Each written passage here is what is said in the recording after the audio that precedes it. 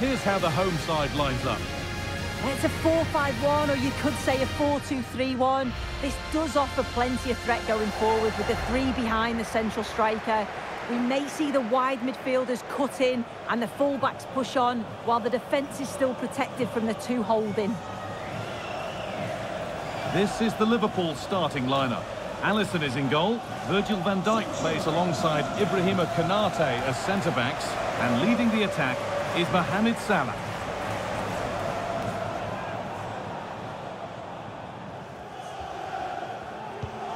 A little sloppy on the ball there. Well, surely they need to play a bit to put them ahead. And still danger here. But it's in at the second time of asking. Where was his defence? That is inexcusable.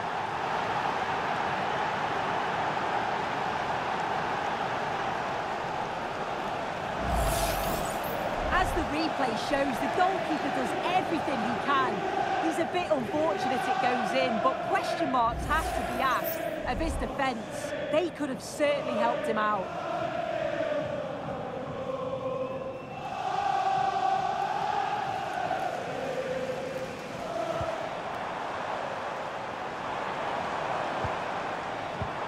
Nicely played through.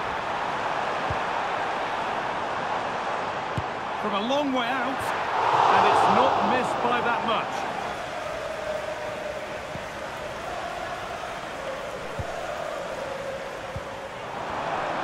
They have a go here.